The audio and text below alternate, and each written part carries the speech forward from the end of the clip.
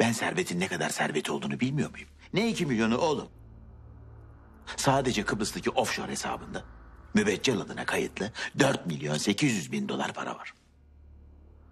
Ayrıca Sibiryalı zamanından kalma dört saf altın jant var. Oradan da mı çalmış ciğersiz? Abi o zaman biz yıllarca servete çalışmışız. Adamın el becerisi, bilgisi, birikimi sayesinde biz de milyon milyon dolar kazandık. Bunun iki milyonu da senin evindeki yatak odasında. Elbise dolabının arkasındaki zulada kahverengi çantanın içinde duruyor. Ayrılacakmış. Enişte de mi Hatice'den ayrılıyor da gidiyor. Kara bulutları kaldır aradan diye at satın alıyor. O ismi sen bulamayasın diye koydum. Nereden buldun? Bizim akılsız da o altınları kapının pervazını söküp içine gömüyor. Ulan eve hırsız girse ne yapacak? Kapıyı kıracak. Sonra ne olacak? Külçe külçe altınlar herifin kucağına düşecek.